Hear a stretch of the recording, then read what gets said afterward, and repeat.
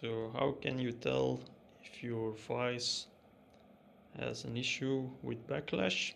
It's quite simple. This rotation should actually open the jaws, but as you could see, it takes one whole spin in the other direction before it actually engages. So for example, jaws are closed right now, and in order to open them, you have to do one full turn before it even engages on the inside and starts turning. Same goes for the other direction. To close it, I need to make one whole turn before the rod on the inside actually engages with the nut.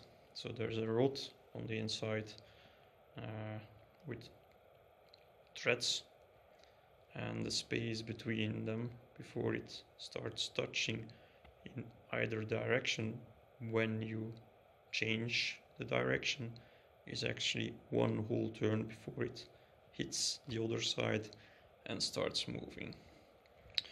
You can tell because when I loosen it and I just give it a pull, it has quite a lot of play in it. So yeah, that's how you can tell if your vise is in need of an upgrade and you have something that's called backlash. Does it actually impact? Eh, you need to make some extra turns, but jaws will still work. You just have to do a little bit more effort every once in a while. Anyway, thanks for watching.